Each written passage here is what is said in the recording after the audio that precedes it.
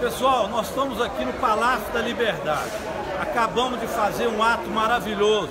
O governador Fernando Pimentel assinou o decreto que vai dar condições ao Estado de Minas Gerais agora de legalizar os territórios, incluindo aí os territórios dos índios. Está aqui a nossa diva Machacali. Gostou, Diva?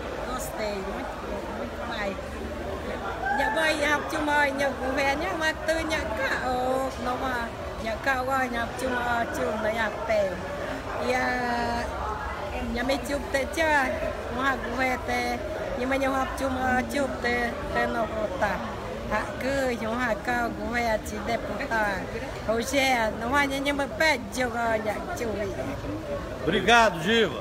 Olha, a Diva está representando aqui os machacalis e as tribos indígenas. Mas aqui também tem os companheiros que vieram também do, do Chacriabá, o povo Chacriabá, lá de São João das Missões, Buritizeiro, de Buritizeiro, estão aí com a gente também. E estamos também com os geraizeiros nossos aqui, geraizeiros e quilombolas, né? Fala aí pra gente, nossa companheira quilombola, que é lá do, do, do Mucuri. O que, que você achou do ato? Isso, eu achei muito importante, porque nós, quilombolas, estávamos, estávamos perdendo nossos direitos.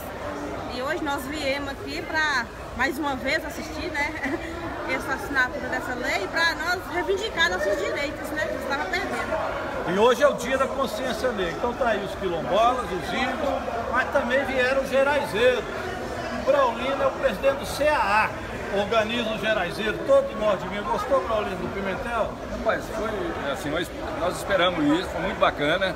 Essa, essa excursão que eles fizeram no norte de Minas, a gente achava, a gente sonhava com isso, com um governo que assinasse um decreto dando é, é, esse prazer de povos e comunidade tradicional ter seu direito garantido. E eu espero que agora for assinado, que passo a passo nós vamos cumprindo todos os direitos e esse pessoal possa ser sujeito do seu território. E aí, ô Denzão, sai ou não sai o território de Geraizeiro lá no Vale das Cancelas? Ah, nós que viemos sofrendo com esse modelo de degra degradante de políticas econômicas desenvolvimentistas, é, com essa política agora que nós possamos discutir uma política de desenvolvimento sustentável, demarcando os territórios tradicionais, principalmente o território geraizeiro, que foi castigado agora na ditadura militar e vem sofrendo com a degradação do cerrado, nós geraizeiros vamos poder proteger nossas nascentes, preservar a água, é, lutar pelos direitos sociais, econômicos do nosso povo. Com essa política vamos trazer esperança. E o Rogério Correia foi um grande deputado lutador por esse trabalho, junto com nós. Muitas audiências públicas foram convocadas por ele e os demais, o Cristiano também, que é o presidente da Comissão de Direitos Humanos. E isso nos fortaleceu para dias melhores nós sonhar com o território livre.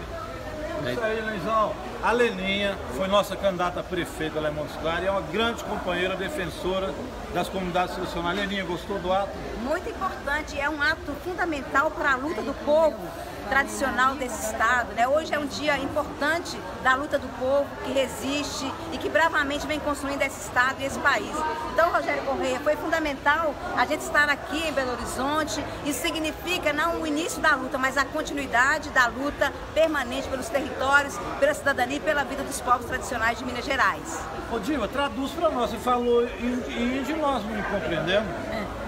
É, é porque eu falei assim na língua, né? Se sair o vídeo, eles entender, porque hoje a gente está junto e agradece a Deus, né? Pela, pela luta né, do governador, que sempre a gente está com ele e agradece as horas, né? Deus ajuda, ajudar nosso povo guerreiro, né? Que a gente falou na língua, para a gente fortalecer e fortalecer nosso trabalho, seja aprovado o decreto de caminhar né? Porque a gente precisa, a gente são indígenas, até a língua, até a cultura, mas a gente não, não, não preservar porque não tem nada, não, não tem caça, não tem pesca, não tem o, ritual, né? Porque a cultura que é preservada não tem as coisas. Hoje a gente está lutando junto.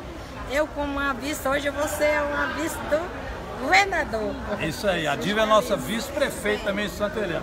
A Eva, dá uma palavrinha, Eva, porque nós falamos dos povos tradicionais, mas hoje é o dia da consciência negra, Zumbi dos Palmares.